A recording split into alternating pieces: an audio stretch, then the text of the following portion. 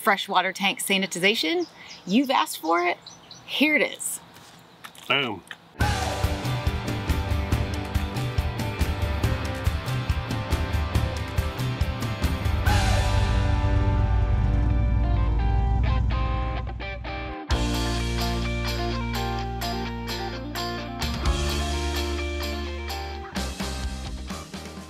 So like the rest of our maintenance series, we have roped in our good friend Todd Hansen from Two Beards and a Babe. Two Beards and a Babe. He's also a master certified technician with the RVIA and is a trainer for the RV Training Academy. Yeah, RV Training Academy, which is in Texas. Mhm.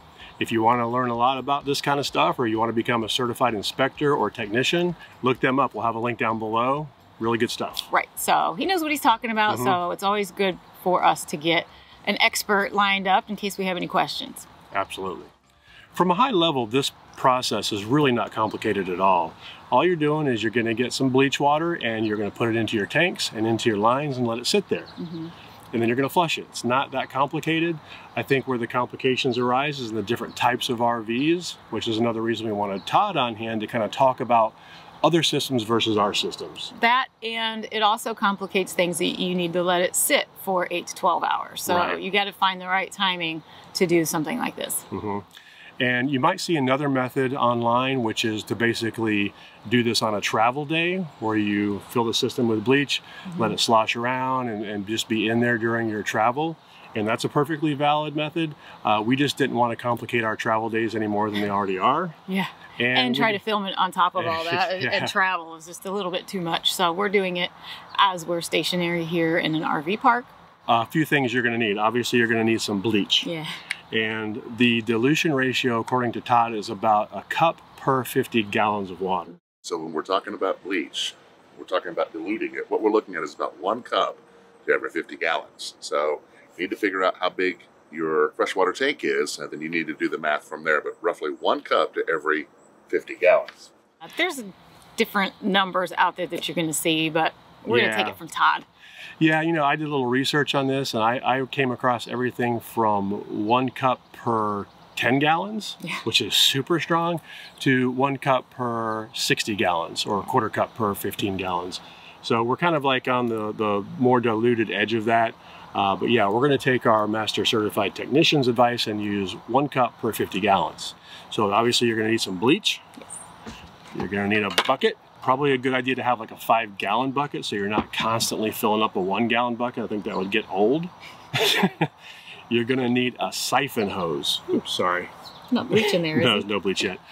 Uh, you're going to need a siphon hose. Basically, usually your fill system is going to have a standard female on it, so you connect the male in. I just, we had an old potable water hose that we had as a backup for a long time, so I just cut off one end of it to go in the bucket, and uh, you know, you can buy these at Home Depot or whatever. Also, I think it's important to have several jugs of water. If you're going to be stationary like we are today, we're not going to be able to have our water running for Mhm. washing our hands or drinking, Or dishes or laundry. cooking or whatever. I mean, we're not going to do laundry today. laundry. yeah. But we do have a filter water pitcher that I have for some drinking water, but it's always good to have some backups just in case. Yeah, you're not going to have use of any of your your water systems, but you can use your toilets. Mm-hmm. Simple as that. Let's just get to it. You might notice this is a little darker outside. we had to take a little bit of a break. The rain came and we just decided to step away from filming for a little bit. So we went to a couple breweries. A couple of them. Yep. Besides that, I wasn't real thrilled about not having access to running water all day long. So why not let it soak and sit overnight while we're sleeping? Yeah, because then you know what, 12 hours from now will be what time is it? Oh my gosh, Six. Six fifteen in the morning. So 8 a.m. Yeah, we'll have plenty of time. We'll just be able to let it go overnight, and yeah, we'll, Mm-hmm. Okay. we'll finish part phase two in the morning. all right, I'm gonna step aside. Step aside. We're going to be showing you this process on our system, which has the Nautilus P1 system, which is this thing here that we've shown before with all the cool colored dials and valves in here. But one of the things that you're going to want to do is bypass your water heater. You don't want any bleach going into your water heater because there's lots of components in there. There's metal. Uh, bleach accelerates the oxidation process and rusting, and it's just not good to have bleach in there. So here's Todd on bypassing the hot water heater. let's say you don't have a Nautilus system, you need to get to your water heater so you can bypass it. And of course, this being an RV, they're always in the tough, tight places. So what we want to do is before we sanitize, before we get this uh, bleach mixture in there, we need to make sure that we bypass our water heater. And the reason being is a water heater is made of metal and bleach is made of a hyper salt. And of course, the two actually create rust. So we want to bypass our water heater. Now, our water heaters, if we don't have a bypass system on the front that says winterize or sanitize, we need to get to the back of our water heater. We need to find where our water heater is, get to the back of it. On the back side, we're going to see these, these uh, one-way valves. This is currently set to be used for hot water. You can tell by these valves, whichever way they're pointing is the way the water flow. So currently I have hot water coming out of the water heater, flowing through and going to my faucets. What I want to do is I want to turn this one off. You see it's perpendicular, doesn't allow the water in. I want to turn my bypass on. And then down at the bottom, I don't know if you can see it, but I've got a cold water line because cold water goes into the water heater, hot water comes out. I want to turn that one off. It looks just like this down below. So all of these now are facing up. That allows the cold water to come up, bypass the water heater, and we can actually get that bleach mixture to our fittings. By doing that, not only can we go ahead and sanitize our tanks, but once we bypass our water heater and we open up our faucets and we pull that bleach water mixture to our faucets, then our lines are actually sanitized as well. Now, once we're done with this, 8 to 12 hours of sanitization, we're going to flush the lines. We'll flush those, and then once we're flushed, once all the uh, bleach smell is gone, we'll come back to our water heater and we'll reset our valves to the normal position where they're all sitting in a horizontal position. In addition to what Todd just showed you, we'll put a couple of links below to other videos, sanitizing videos where they have done that. Another thing you're gonna wanna do is if you have an inline water filter that's inside your RV that you can't just disconnect. Like if you've got one of those inline ones that connects outside, don't worry about it. But we have this filter right here. Our water system, when the water goes in through this connection here, actually comes back out, goes through this filter, then back in. So I don't want to have our filter in here. I'm just going to pull the filter out and leave the canister empty so it still gets sanitized, but I'm not going to have to worry about the filter. I'll also replace this filter with a brand new one when we're done. Before I pull this filter off, I want to let the pressure out of the system, so I'm going to connect up our hose here and just shut off our water, relieve the pressure so it's not spewing water when I take the canister apart.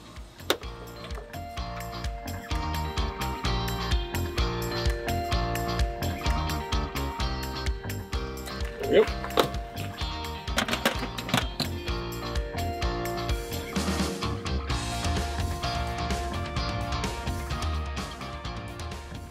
Should have brought a towel. You want a towel? What do you mean? this filter is due to be replaced anyway. That's disgusting. Connect this back up. Campground water is usually pretty bad. Hence that copper colored filter. Especially if you're on well water. We haven't been on uh, up until now. We haven't been on a city water. I don't think in a while. No, maybe months and months. Yeah. I am going to turn water back on. And I'm going to fill this bucket up.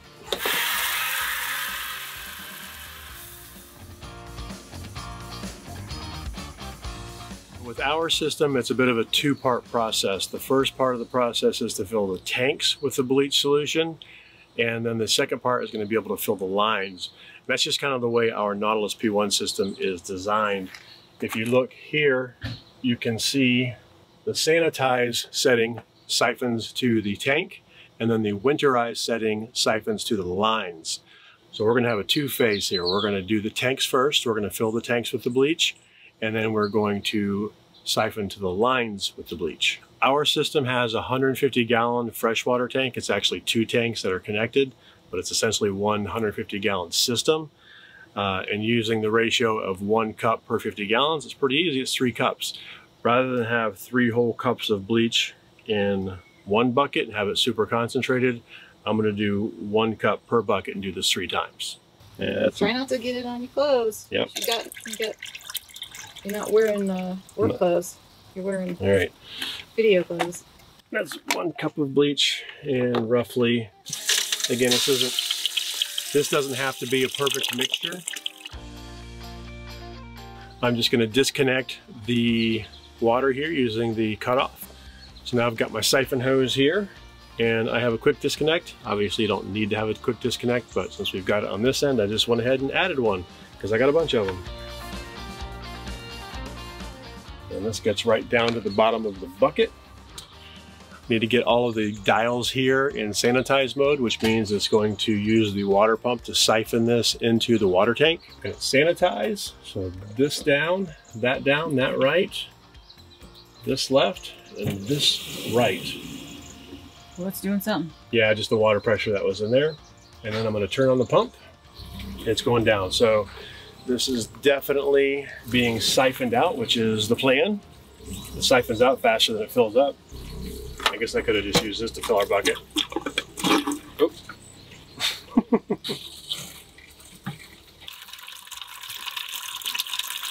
I'm just gonna do this two more times to get two more cups of bleach in there.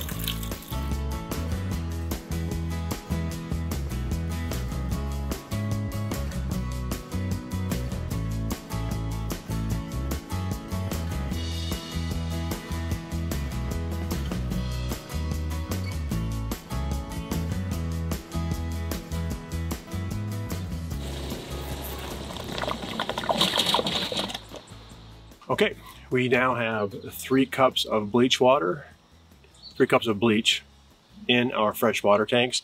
I, I don't know if I mentioned our fresh water tank was already about 80% full. I went ahead and did that ahead of time so that I didn't have to wait forever for it to fill up. I'm going to leave them uh, there until we do the siphon to lines section, and then I'm going to top them off. For that last segment, I wasn't that concerned about the ratio of water to bleach. I just didn't want it super strong. I just wanted to be able to get three cups into that 150 gallon tank. For this section where I'm doing the siphoning into the lines, it's not going to have a larger body of water to mix with. So what I'm going to do is make sure that this mixture is about that same ratio, one cup to 50 gallons. Since I have a five gallon bucket here, that's about a tenth of a cup. Simple math. So a tenth of a cup. That's Um, really on there. No, I'm just going to use a quarter cup and we'll just call it close enough. I mean, it doesn't have to be exact. Well, a quarter of a cup is a lot more than a tenth of. Yeah, I know. So just do less than a quarter. Yeah, yeah.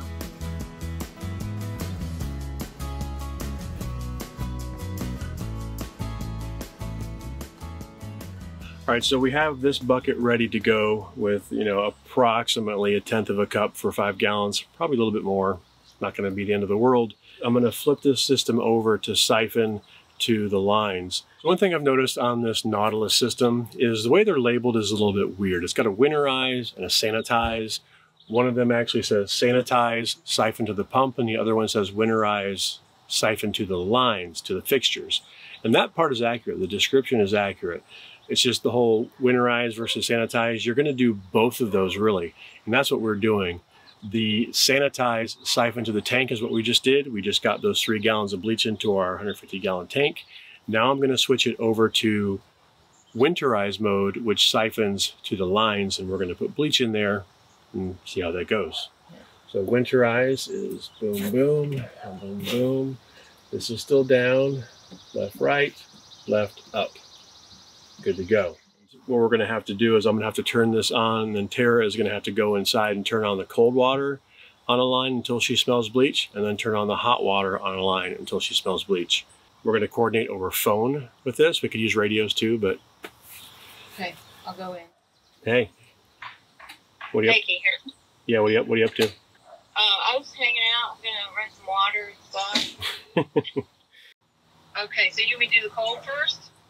Actually, you know what? Let's let's do the hot first. I want to make sure that it doesn't get hot. You know, you don't have to touch it because there'll be bleach water coming out. If you see if it steams or anything. So let me know when you're ready. Just oh, oh, go ahead and open up the um, the hot. Hot right now. Okay, it's already it's already open. Okay, turning on the pump and the water should come out. All right, let me know when you smell bleach. I got my face down in here.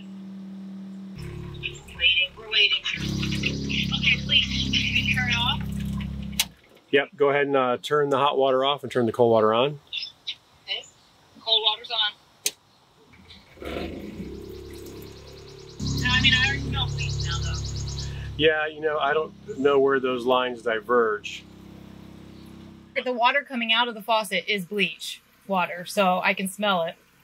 Huh. I'm surprised that it got there that quick, but you know, the lines are pretty small. So let's just give it a second to make sure. Now there's air coming through, so maybe that was just residual from before. If it smells bleachy, we should be good. Yeah, I'm freaking it. Okay, let's go do the kitchen. But you want me to go ahead and do the hot first uh, on this kitchen sink? Sure. Okay, here we go. It's on.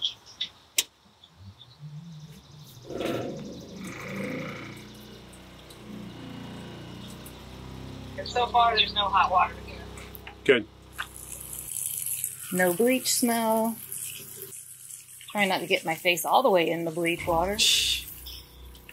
So far, it's been running, and I don't smell the bleach, but it's not get, gotten hot either. Bleach it is. I got bleach. I got bleach. Okay, go ahead and switch over to cold. Running cold. Coming at you. Yeah, now I smell it. Okay, Okay. We'll want to do it on the shower hot and cold and the sink hot and cold. Oh, yeah, the shower. Okay. Okay, here we go. Cold water.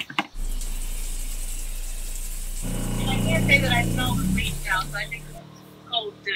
Okay, you can smell it. Okay, so just go ahead and switch over to hot. We've got bleach. Okie dokie. Let's do the sink.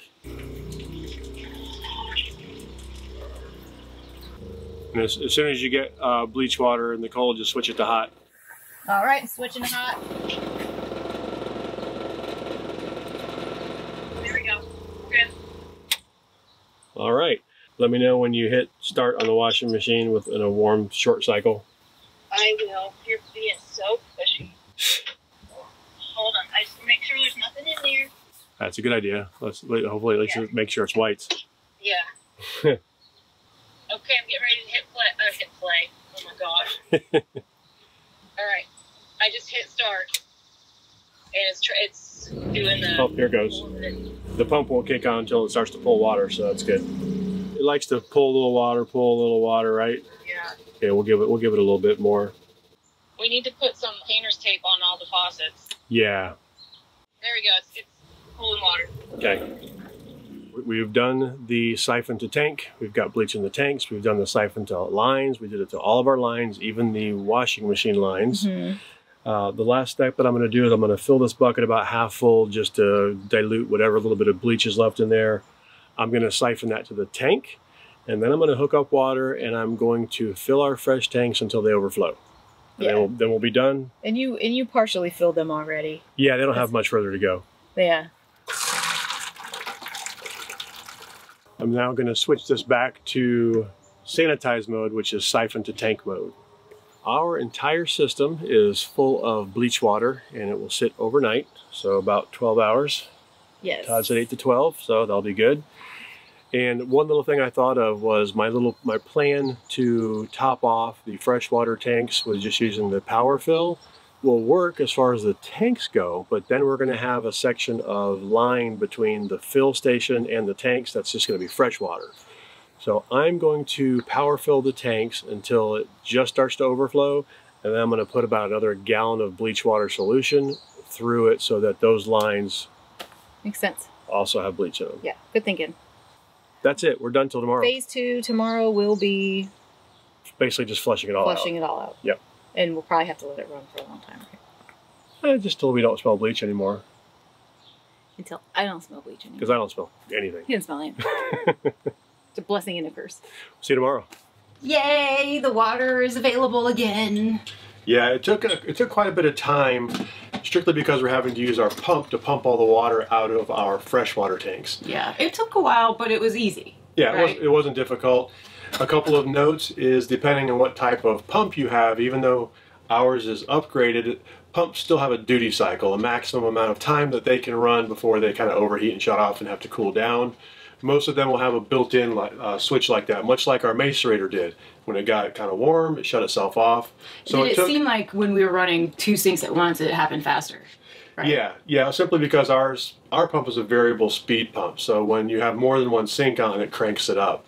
Most RV pumps are just one speed, and turning on multiple sinks may or may not help with the speed. Obviously, the faster you pump, the faster the pump's going to overheat. So we did have to kind of run it, let it cool off, run it, let it cool off. It takes a while to pump 150 gallons. So basically the process is really simple. You're just pumping all the water out. Now, once you get all of the water out, you want to fill it back up with fresh water again, all the way up so it's maximum dilution. Mm-hmm. And then you want to run all of your sinks to pump all of that stuff out. We actually did that twice. That way we've diluted the system completely and there's really no more bleach at all mm-hmm. anywhere in the system. We did want to mention that we are currently connected to city sewer, not a septic. Right. When you're doing this process, you really want to be on city sewer, mm-hmm. or at least get permission from your campground or RV park if they have a septic system, because again, bleach introduced into a septic system can mess with that whole Eco- ecology yeah. of bacteria and stuff. Right. It was a great thing that we went ahead and put blue painter's tape over all of the faucets because had we not, we would have just out of habit turned on the sinks numerous times. We went to do it so many times, even with the tape on Yeah. there. So How many times has your power gone out and you walk around your house hitting light switches just Yeah. because it's because it's a habit? You're just Yeah. used to being able to click the sink on and use it. yeah, so it was an easy fix to just put a little bit of blue tape on there, easy peasy. Yeah. Another tip, we mentioned getting water and having that available. Mm-hmm. Also a great idea. If you're coffee junkies like us, To fill this up so this is ready to go in the morning and you Yeah. don't have to use your bottled water in your coffee pot. Another quick note, when we would travel, we fill up our tanks just enough for maybe an overnighter or maybe just a travel day. So if it's just a travel day, one day we might put like 30 gallons in our tank to use at a rest area, to be able to use our toilets, stuff like that. If we're going to be staying overnight, I usually put about 50 gallons in. My question to Todd had to do with is it better to leave that water in your tanks between travel days, like while we're sitting here, or empty it? And he said definitely it's better to keep your fresh tank completely empty. that, ma- that makes sense. Yeah. So I, I pumped it all out and then I used our valves on the bottom to open up the rest and just let the fresh water dump out. Uh, that way the tanks are clean and empty and dry until you're ready to use them again. There's not anything bacteria growing in there. Again, this process doesn't do anything for our water heater. We bypass that. You don't want any bleach in there, but we do want to sanitize that, and that's going to be coming up in a separate video That's right. Coming up soon though. very soon because we need to do it. Yeah, we do. We also need to do our anode rod. Yes, um, and we'll do all that together. Mhm. We want to thank Todd once again for his help with this. We also want to thank him for stepping up and filming it over for us because we messed up on our side and had some bad audio. So thank you, Todd. Yeah. We also recommend that you check out the Road Life Project. It is now free for you to join and be a member of the Road Life Project.